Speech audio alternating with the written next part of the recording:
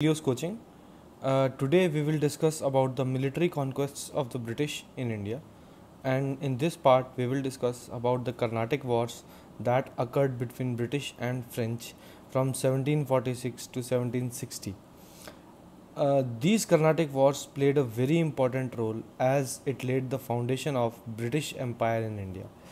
इसको डिस्कस करने से पहले हमें ब्रिटिश एम्पायर के बारे में कुछ चीज़ें जाननी बहुत ज़रूरी हैं देखिए, जब हम ब्रिटिश कंट्रोल की इंडिया में बात करते हैं तो generally we can divide the conquest of India into four phases this is very very important इसको आप दिमाग में बिठा लीजिए। आपको ब्रिटिश एम्पायर इंडिया में समझना बहुत ईजी हो जाएगा। The first phase overall the phases were from 1600 to 1947 and divided into four parts the first phase was 1600 to seventeen fifty 1757 AD देखिए 1600 में ब्रिटिश इंडिया में आए 1757 तक they were only concern about trade उनको trade के अलावा कोई भी कुछ भी लेना देना नहीं था। उन्होंने कहीं पे कोई अटैक नहीं किया, कहीं पे कोई कॉन्क्वेस्ट नहीं किया and they were just traders doing trade in the country from 1757 to 1773 they got a chance to conquer Bengal and along with Bengal Awadh और दिल्ली इनको फ्री में साथ में मिल गया। तो एक तरह से सेकेंड फ़ेज़ में दैट इज़ फ्रॉम 1757 ऑनवर्ड्स पहली बार इन्होंने अपने ट्रेड ट्रेड को, जो इनका मेन फोर्टे था, उसको छोड़कर अनेक्सेशन का प्रोसेस इंडिया में स्टार्ट किया। और उसमें, उसके अंडर इन्होंने सबसे पहले बंगाल अवध और दिल्ली को कॉन्कर किया। Third phase that was the most important phase with respect to the British conquest in India और उस फ़ेज़ में मैक्सिमम किंगडम्स वर कॉन्कर्ड अगर हम मैप को थोड़ा ध्यान से देखें, इंडिया के मैप को तो देखिए, अवध और बंगाल और जो दिल्ली है, वो ऑलरेडी ब्रिटिश के पास आ चुका था। ब्रिटिश को इनको अनेक्स करने की कोई भी ज़रूरत नहीं थी। अब ब्रिटिश को जीतने के लिए निज़ाम, मैसूर, सरकार, आपका कर्नाटक, ये सारे एरियाज़ बचे थे। इनकी जितने भी इन एरियाज़ की अनेक्सेशन है, जितना भी ये एरिया इन्होंने जीता है, ये सारा इनका जो अनेक्सेशन है, वो seventeen hundred and seventy three to eighteen hundred fifty seven के बीच में हुआ है। इस मैप में आप देख सकते हो ब्रिटिश टेरिटरीज जो जो इन्होंने अनेक्स की हैं। This was the most important phase that is the third phase जिसमें मैक्सिमम अनेक्सेशन हुई हैं।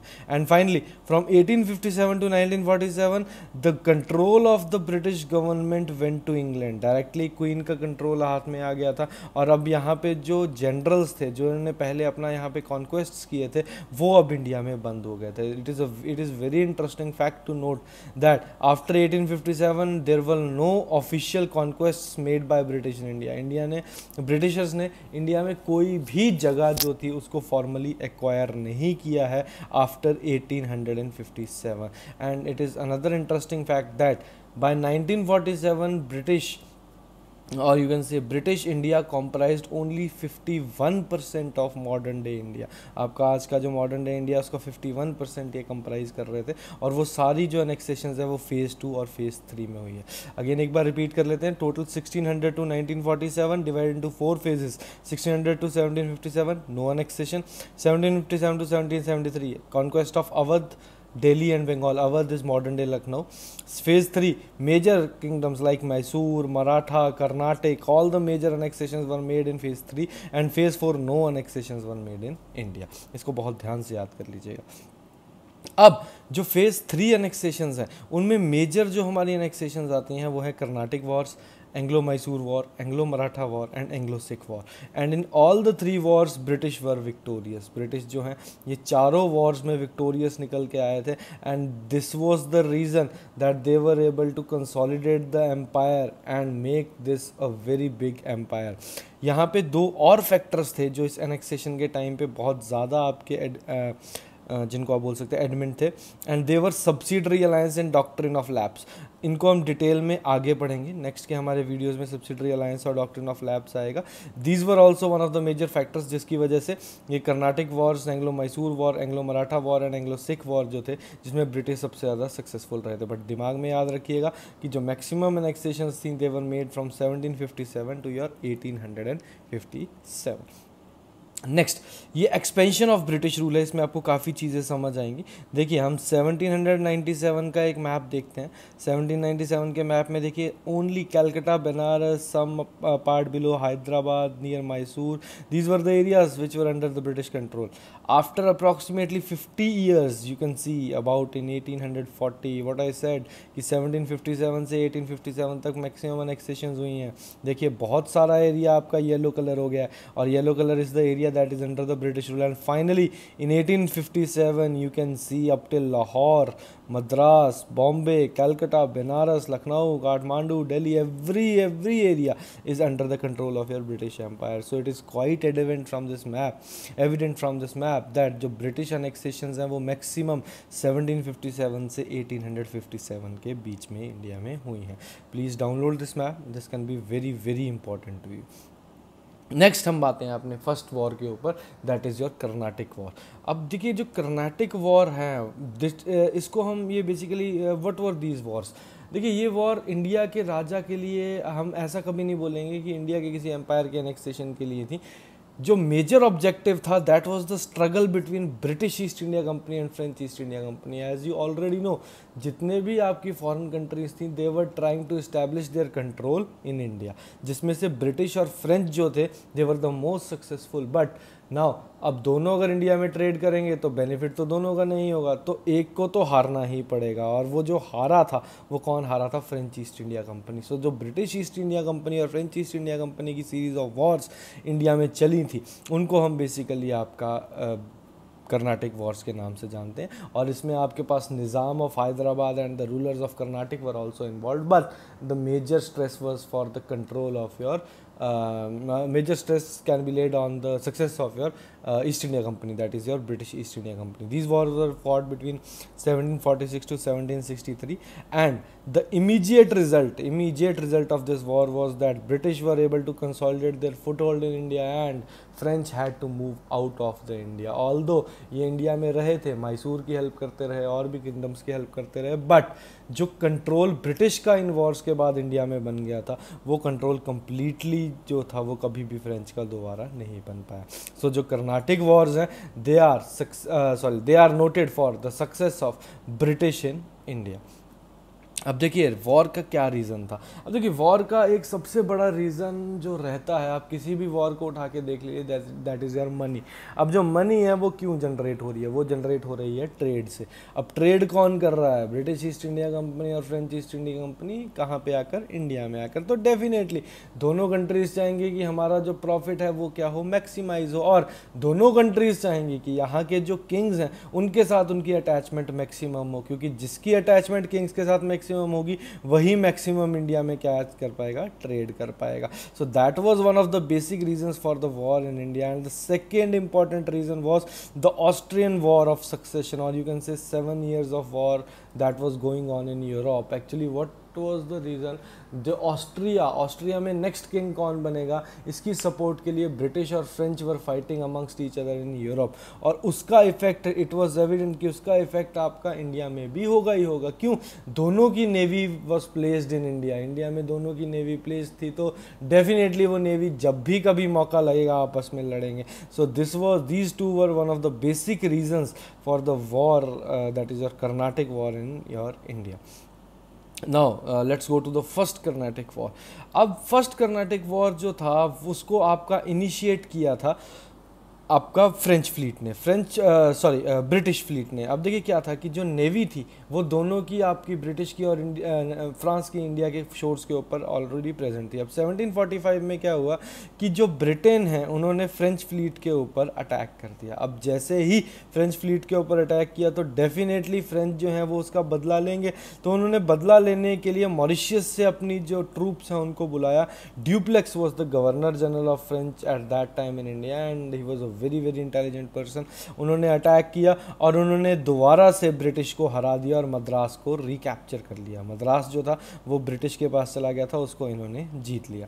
अब जो ब्रिटिश हैं, उन्होंने अब नेक्स्ट अटैक किया। डेफिनेटली बदला लेंगे। तो बदला लेने के लिए उन्होंने पौंडीचेरी पे अटैक कर दिया। पौंडीचेरी पे अटैक किया but they lost they there was a heavy loss to the British और ये बहुत बुरी तरह हार गए। और इन्होंने यहाँ पे कर्नाटक के जो किंग था, उनकी हेल्प मांगी। अब देखिए, दिमाग में एक चीज़ याद रखिएगा। गया Karnataka is the area of partial area of Karnataka and the maximum area of your Tamil Nadu, modern day Tamil Nadu and Karnataka, that area उसको थोड़ा दिमाग में रखिएगा और उसकी जो कैपिटल थी उस टाइम पे एयरकॉट थी और जो वहाँ का रूलर था his name was Anwaruddin Khan वहाँ पे रूलर था तो देखिए क्या हुआ ब्रिटिश जो थे वो पौंडीचेरी पे उन्होंने अटैक किया और वो हार गए जब वो हारे तो हेल्प लेने वो गए अनवरुद्दीन खान के पास अब जो अनवरुद्दीन खान था उन्होंने मद्रास को उन्होंने फ्रेंच आर्मी को बोला कि जो मद्रास है उसको छोड़ दो और वो किसको पकड़ा दो ब्रिटिश के पास पकड़ा दो। बट जो ड्यूप्लेक्स था, वो भी नवाब के पास गया, अनवरुद्दीन खान के पास। बट जो नवाब था he was more inclined towards your British वो ब्रिटिश की तरफ़ आपके मोर इंक्लाइंड थे। तो उन्होंने क्या किया? बहुत बड़ी एक आर्मी भेजी फ्रेंच फोर्सेस से लड़ने के लिए।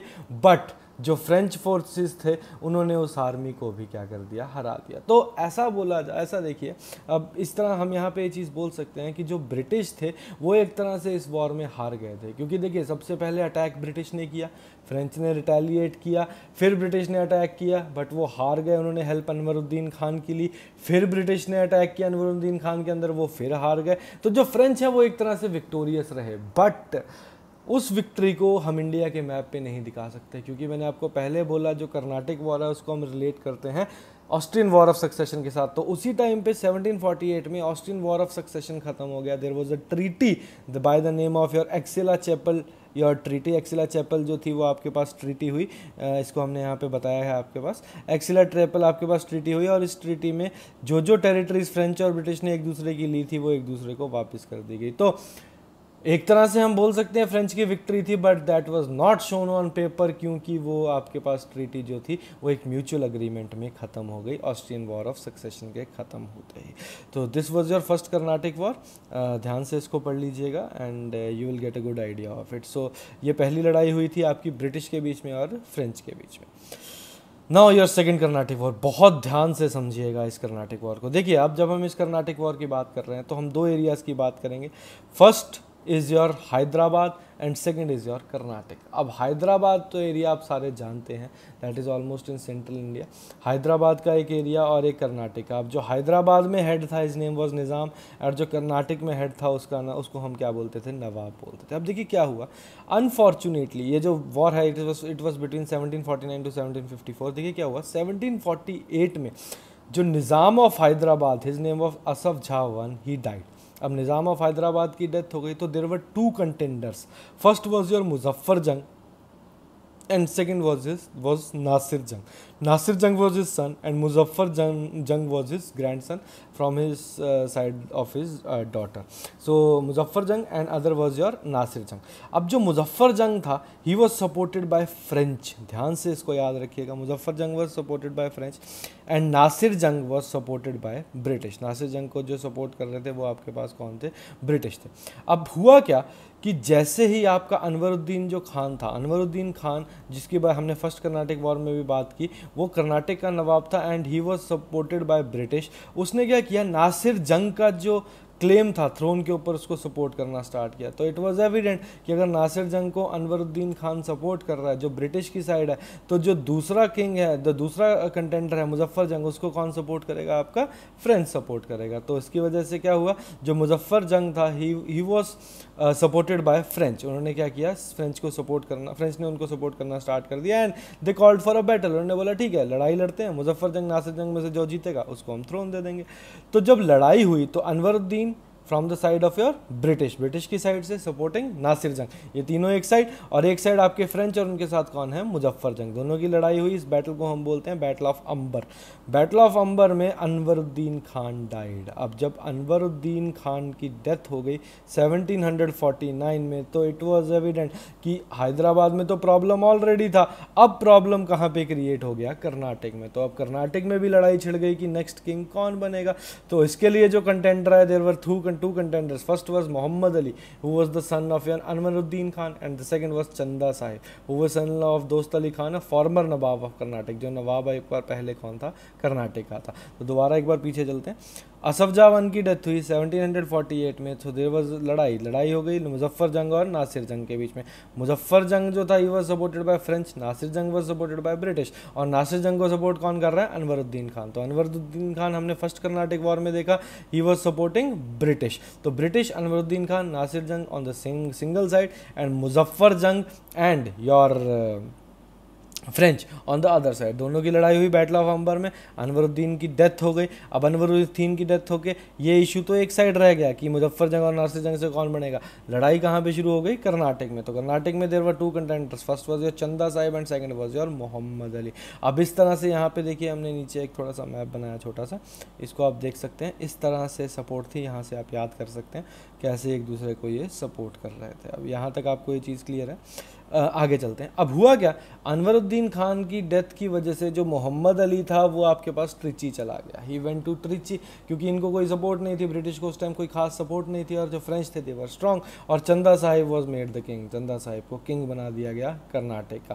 फ्रेंच फोर्सेज डेक्कन में पावर आ गई फ्रेंच के पास, क्योंकि कर्नाटक का किंग कौन है? चंदा साहिब है। तो डेफिनेटली इन्होंने अब डेक्कन की तरफ़ को मूव किया। वहाँ पर इन्होंने नासिर जंग को हराया तो मुजफ्फर जंग जो था, उसको हैदराबाद। तो दोनों Muzaffar Jung he was also supported by French वो भी किंग बन गया। और दूसरी साइड आपका Chanda Sahib who was who was your supported by French वो कहाँ का किंग बन गया? कर्नाटक का किंग बन गया। और उन्होंने साथ में क्या किया? Uh, फिर क्या हुआ कि जो मुजफ्फर जंग था वो ज़्यादा टाइम किंग नहीं रह पाया उनकी डेथ हो गई। तो now the French install Salabat Jung उसको जो सलाबत जंग है उसको वहाँ का निज़ाम बना दिया। तो एक तरह से फ्रेंच कंट्रोल्ड हो गए दोनों एरिया आपके हैदराबाद भी और आपका कर्नाटक भी। अब यहाँ पे क्या हुआ? जो रॉबर्ट क्लाइव थे there was a person by the name of your Robert Clive Robert Clive became the governor of Bengal उन्होंने देखा कि यार कंट्रोल जो है वो कम्प्लीटली फ्रेंच के हाथ में जा रहा है और हम कोई भी चीज़ नहीं कर पा रहे हैं, हम कोई भी चीज़, किसी भी चीज़ को कंट्रोल नहीं कर पा रहे हैं तो हमें कुछ ना कुछ स्टेप जो है वो लेना पड़ेगा। तो what Robert Clive did was he started supporting Mohammed Ali इन्हें मोहम्मद अली को सपोर्ट करना स्टार्ट कर दिया और उन्होंने फ्रेंच की कैपिटल एयरकॉट के ऊपर अटैक कर दिया। अब एयरकॉट के ऊपर जैसे ही अटैक किया, इसको सीज ऑफ़ एयरकॉट के नाम से भी जाना जाता है। बहुत ही टेक्टिकल अटैक था और इसकी वजह से जो एयरकॉट था दैट फेल डाउन और वहाँ पे जो चंदा साहिब था he was killed Chanda Sahib को मार दिया गया और जो किंग था, वो आपके पास बन गया। कौन? आपका Mohammed Ali. Mohammed Ali became the king he was supported by और ब्रिटिश तो एक तरह से आपका जो कंट्रोल था, कर्नाटक का इनके हाथ में गया तो इट वॉज़ एविडेंट कि जो दूसरी साइड का आपका कंट्रोल है दैट इज़ निज़ाम का, वो भी किसके हाथ में चला जाएगा? ब्रिटिश के हाथ में। तो जो फ्रेंच थे, उनकी जितनी भी मेहनत थी, जो भी चीज़ थी, वो एक तरह से ज़ीरो हो गई और सारा कंट्रोल ब्रिटिश के हाथ में चला गया। And it ended with the treaty of Pondicherry and 1754 and it is also said that it was like a nail in the coffin for French in India क्योंकि सेकेंड आपकी जो कर्नाटिक वॉर थी, इसमें इंडियन किंग्स भी involve थे और Indian kings के सामने आपका जो फ्रेंच था, वो एक तरह से सबड्यू हो गया in front of your British and it already British जो थे they were having the control of your Bengal Awadh and Delhi now they were also having the control of your Hyderabad and that of your Karnataka so they became very strong in India India में काफ़ी ज़्यादा strong हो गए और बाद में जाके it was these areas were of great help to the British और जो आपके फ्रेंच हैं, उनके, उनका जो कंट्रोल था, वो एक तरह से उनके हाथ से चला गया। अब यहाँ पे एक चीज़ बहुत नोट करने वाली है। देर वॉज़ uh, इनका गवर्नर जनरल था फ्रेंच का ड्यूप्लेक्स अब देखो जो ड्यूप्लेक्स था he was a very intelligent person but problem क्या हुई कि जो फ्रेंच था कंट्रोल उनको सारा कंट्रोल डायरेक्टली गवर्नमेंट से करना पड़ता था फ्रांस की. और जो ब्रिटिश थे they were able to take their own decisions at the same time तो इसके कारण से जो ड्यूप्लेक्स था वो एकदम इमीजिएट डिसीजंस नहीं ले पाया despite being so successful in the second Karnataka war and that was one of the basic reasons कि आपके जो सेकंड कर्नाटक वॉर है उसमें फ्रेंच जो कर गए हार गए. अब हुआ क्या कि सारा जो हार का जिम्मा था, वो ड्यूप्लेक्स के ऊपर फेंक दिया गया और जो ड्यूप्लेक्स था was called back and later it is said that he was punished and he died due to punishment तो ड्यूप्लेक्स की डेथ हो गई थी इसके बाद। ठीक है जी, अब नेक्स्ट हम आगे चलते हैं। अब यहाँ पे आपके फ्रेंच पावर जब मैं, ये मैं बात कर रहा हूँ सेकंड कर्नाटिक वॉर जो हो रही थी उसके दौरान, जब तक रॉबर्ट क्लाइव का कंट्रोल नहीं आया था तो you you can see that French were having almost whole of the Deccan in their control आपका जितना भी डेक्कन है, वो ऑलमोस्ट फ्रेंच के कंट्रोल में था और जो ब्रिटिश थे they were no where near near them but just due to the tactics of Robert Clive and some incompetence from the government of French जो प्रॉपर या क्विक डिसीजंस नहीं दे पाए, जो फ्रेंच है they had to lose control in your India और उसकी वजह से सेकेंड कंट्रोल का आपके कर्नाटक वॉर में इनकी हार हो गई और वो यहाँ से हार गए।